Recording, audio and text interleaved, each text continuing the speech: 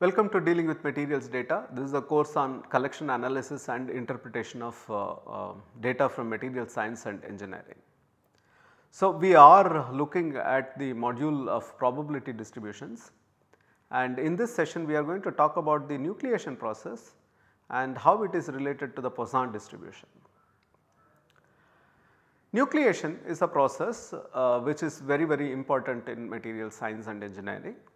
Here is an example of an undercooled melt and out of which a nuclei is forming. There are actually several nuclei that have formed and they are going to grow and that is how this undercooled melt is going to transform into a complete solid.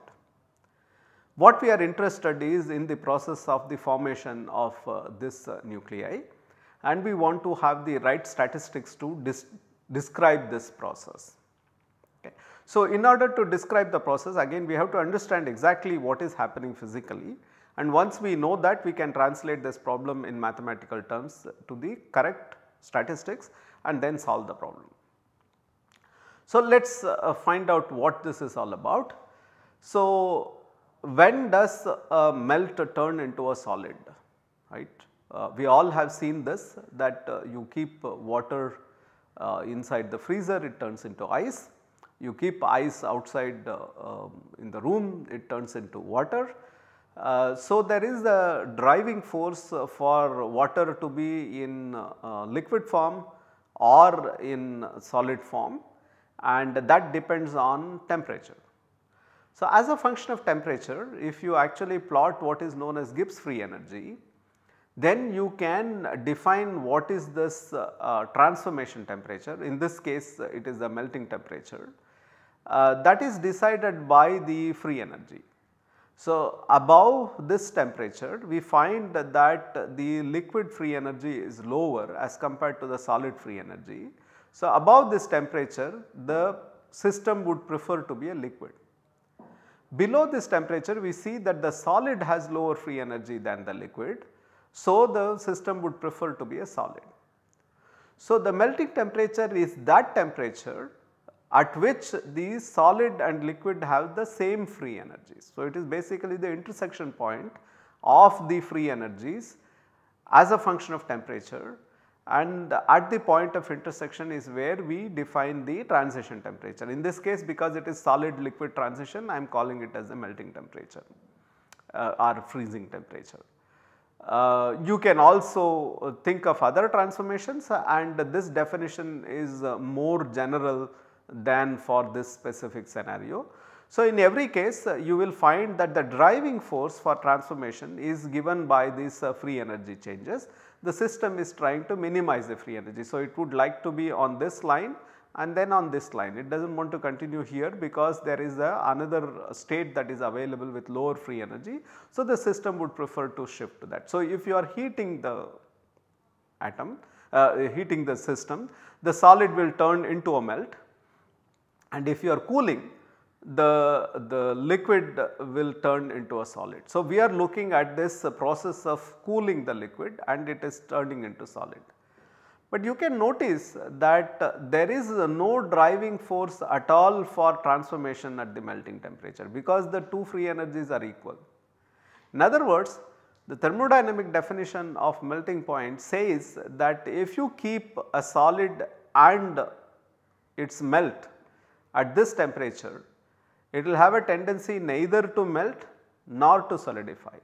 So, there will be no change in the solid melt interface at all. It will neither move towards the solid nor move towards the melt and it will remain where it is.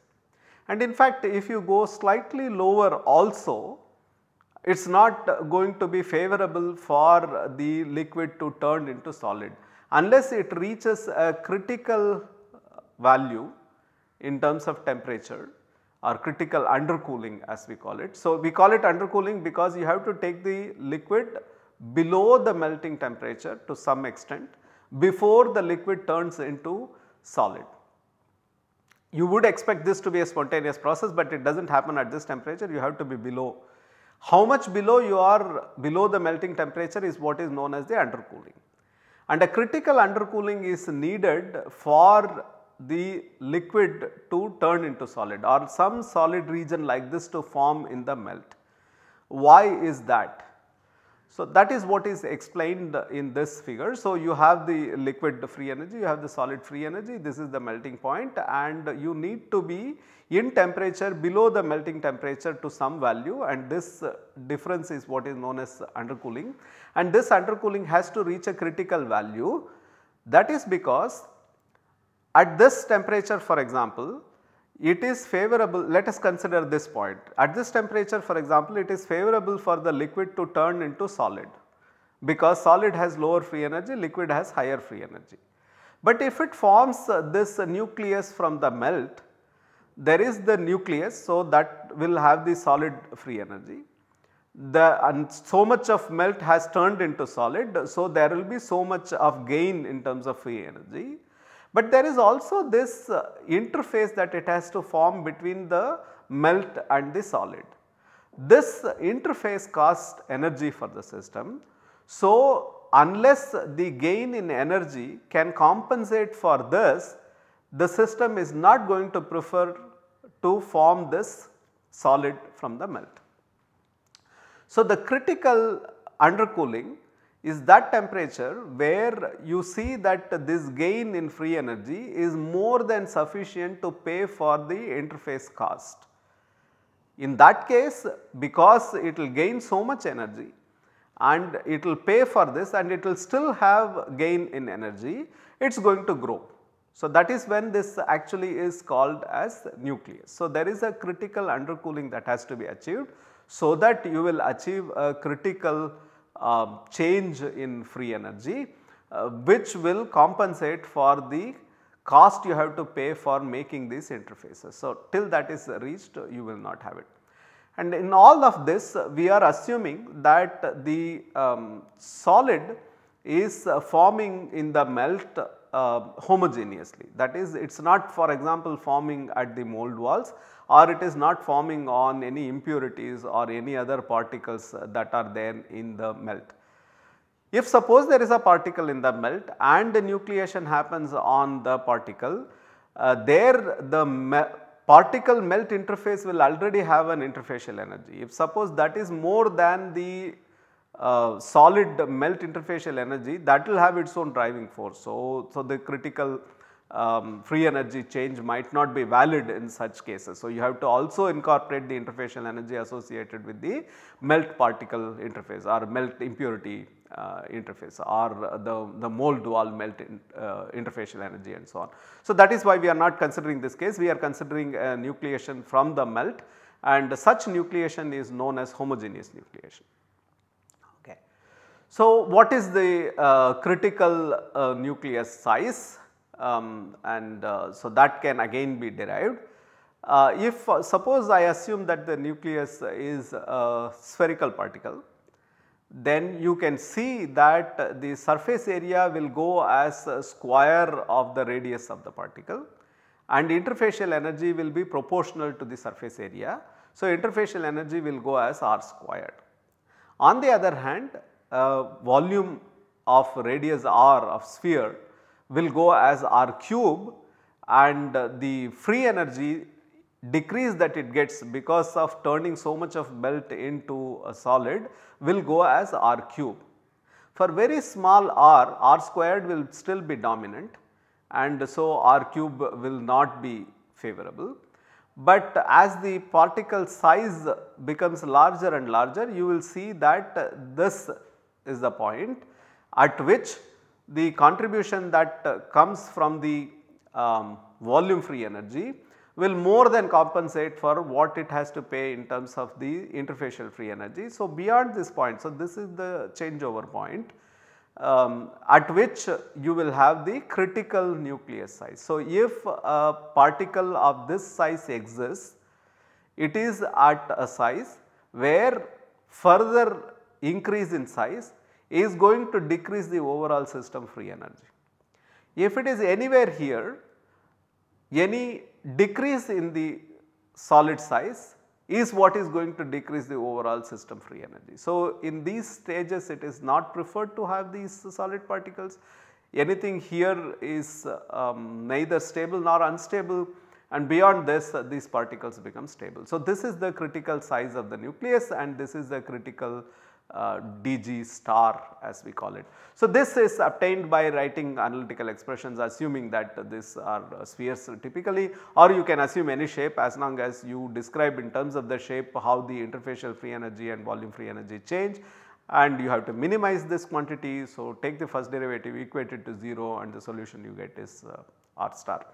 You can show that R star is uh, 2 times uh, gamma by delta G so, that delta GV is the overall volume free energy gain that you get by turning the melt into solid and gamma is the interfacial energy. So, uh, it also comes from what is known as uh, um, Gibbs Thomson equation which says that R is uh, um, if suppose R is the uh, radius um, then 2 gamma by R is the excess free energy associated uh, with that interface. So, you have to compensate for it. So, delta GV happens to be uh, 2 gamma by R. So, in any case, uh, so you, you can see that uh, there is a critical size and beyond that size the nucleus will grow and this process of turning the melt into a solid by formation of such stable particles is what is known as nucleation. Specifically we are looking at homogeneous nucleation. Now, the rate of homogeneous nucleation J in meter cube per second uh, units is the average number of stable nuclei in a given volume in a given amount of time. Okay. Now, the formation of nucleus uh, nuclei is a stochastic process. What gives rise to uh, such particles in the first place is the thermal fluctuations. Okay. Because of thermal fluctuations different sized solid like particles are always forming in the melt. Okay. They are forming in fact because they are based on thermal fluctuations they are forming at all temperatures, but if suppose your temperature happens to be lower than the melting temperature then when the system accesses those states it realizes that it can decrease its free energy. But if suppose it accesses these sizes then at these sizes it is going to find that it is not favorable so they are going to shrink back. But if suppose it happens to access the, this size then it knows that it had already decreased the system energy. So, it will prefer those uh, uh, states and so it will continue to do that. So, this is what is happening. And so, these thermal fluctuations that give rise to such regions of solids, if uh, the size of these particles happen to be smaller than the stable size then they are called embryos. They keep forming and they keep uh, dissolving back into the melt and they are called nuclei if they are above the critical size and so they can grow. So, homogeneous nucleation is what we have assumed, we have not assumed that the nucleation is on mold wall or impurity or anything like that. So, in the case of homogeneous nucleation if that is the uh, rate of uh, nucleation, how do we get this uh, rate? Okay. So, the idea, so in principle you have to consider the formation of different sized particles and their dissolution and or building up one by one uh, you know the, the, the, particle and it is growing in size. And at every stage it has definite probability to shrink and uh, some finite probability to grow. And you can track this and find out when it actually uh, goes over the critical size. That is one approach. But there is another idea which says that okay because of thermal fluctuations what is the probability of finding a particle of exact critical size R star. And now to this solid if you add one atom or molecule it will become a nuclei. Okay. So, if you know the probability or frequency of incorporation of one atom or molecule into critical nucleus and that is of uh, some, some F0 then the thermal fluctuations which give rise to these uh, solid particles uh, in the melt uh, that, that is described by the Boltzmann distribution. So, like I said earlier we are also going to talk about Boltzmann distribution um, and, and the other statistical distributions like Fermi Dirac and Bose-Einstein at some point. Uh, but this uh, distribution is described by exponential minus del g by kT where k is the Boltzmann constant, T is the absolute temperature, del g is the free energy of the nucleus of critical size. In our schematic uh, this is uh, del g and this is R star. right. So, if you have exponential minus del g by kt gives the probability or the, the occurrence of nuclei of uh, solids uh, of this particular size and you multiply by the frequency. So, that will give you the j. Now, suppose j is unchanging that there is constant undercooling. So, this is again another approximation this is uh, um, not true always um, because if you form a solid and if there is some latent heat change then the temperatures can change um, and, and so on and so forth. So, there are lots of things that can happen. So, the uh, undercooling might not remain constant.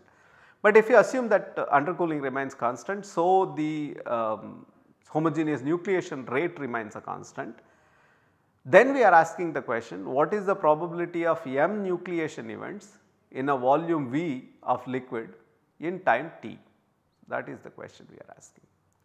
So, the number of nuclei n will be t times V times j because j is per meter cube per second. So, if you multiply by the volume and time you will get the number of nuclei that will nucleate uh, in a volume V at in time t and we are trying to get this probability. So, this will be given by a probability distribution which is known as Poisson distribution.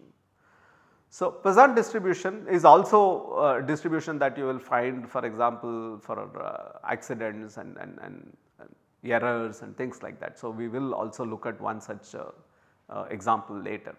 So, for nucleation for homogeneous nucleation, so the number of nuclei that you would find and the probability of uh, m nucleation events of having n nuclei is given by n power m by m factorial exponential minus n. So, this is the uh, probability distribution function for the Poisson distribution. So, so this is the probability distribution for Poisson distribution function. It so happens that the expectation value for the Poisson distribution and the variance both happen to be n. Okay and Poisson can be thought of as a limiting case uh, for binomial uh, for the probability tending towards 0 and for large m uh, the Poisson distribution actually approaches uh, normal distribution. Okay. So, the, the Poisson distribution using R poise is the command and dpois, p poise, qpois and rpois as usual they give probability density, cumulative distribution function, quantile function and um, and r poise actually gives you the random variates of Poisson distribution. Let us assume m to be 20 and try to do these uh, um, commands using r.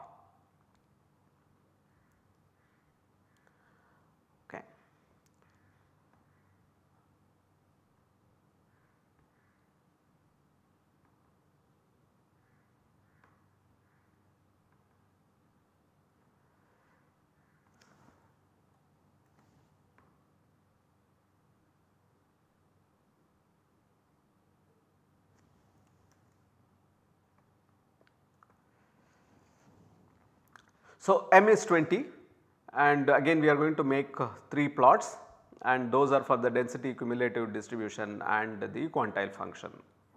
And um, the, the Poisson distribution requires just the uh, parameter m. Okay. So, the here is the uh, probability distribution, here is the cumulative distribution and here is the quantile function.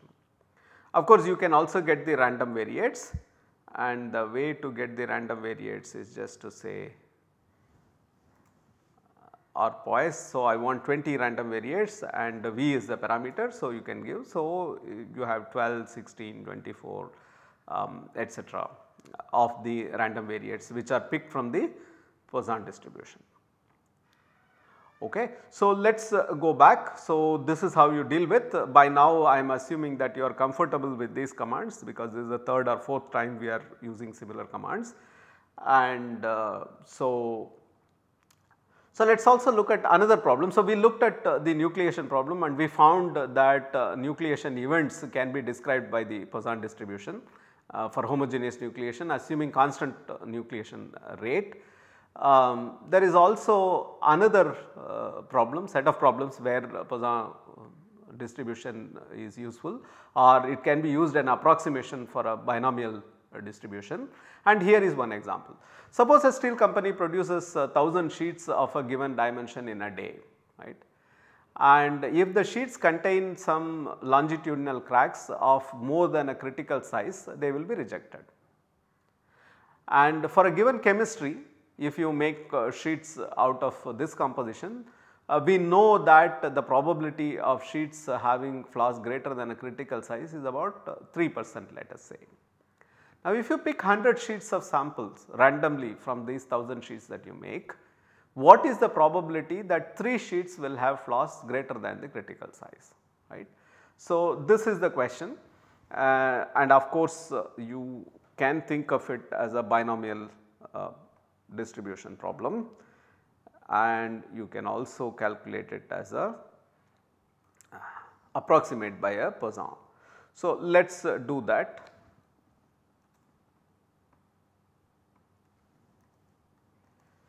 So what do we have? We have 100 and the probability is 0.03 and uh, so if you have uh, um, 100 then at least 3 you expect it to fail and you are looking for probability for when you test 100 3 of them will be um, failing.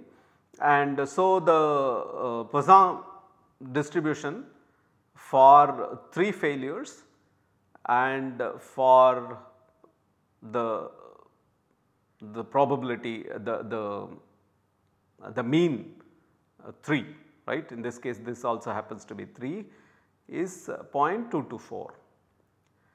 Now you can also calculate this quantity as a binomial. What is the binomial? And that is here. Right, you can calculate uh, the um, total is 100 and you are looking for 3 out of it with a probability of 0.03. So that is 0.227. So you can see that the difference between the two is uh, at the third decimal place some 0.3 or something. So, you can actually uh, calculate the difference uh, between this and this.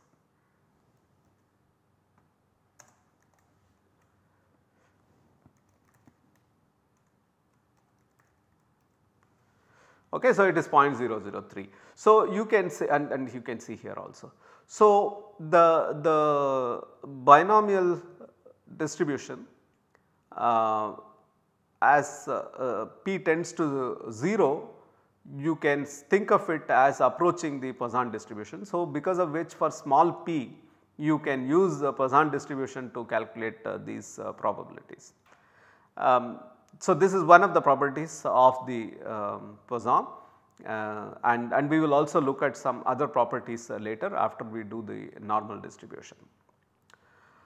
So, we have found that uh, um, this is the last of the discrete distributions we have looked at uh, Poisson distribution and this distribution has uh, lots of use. Um, it is very important in studies like nucleation and it is also useful for uh, finding out defects in a manufacturing process for example and it can also be used for approximating the binomial for very small values of uh, p the probability uh, that goes into the binomial distribution function. So, uh, to summarize we have looked at probability distributions specifically we have looked at discrete probability distributions. Uh, we have looked at Bernoulli trials, binomial, negative binomial, hypergeometric and Poisson distributions and we have looked at at least two very important uh, cases where these distributions are of use. Uh, one of them is a microscopy technique to get the composition of very small volumes. So, that is the uh, atom probe technique where we found that negative binomial hypergeometric and things like that are useful and where we also did some error analysis along with the distribution. So, it is an interesting mix of problem and uh, we have now also looked at uh, Poisson distribution and how it is useful for understanding things like uh, nucleation. So, with this we are going to conclude the uh, discrete distribution scenario. There is one more uh, uniform distribution which can be either discrete or uh, continuous. So, we will come back to it at some later point. And now we are going to move to continuous uh, probability distributions of which uh, the most important is of course normal. So, we are going to start with normal in the next session. Thank you.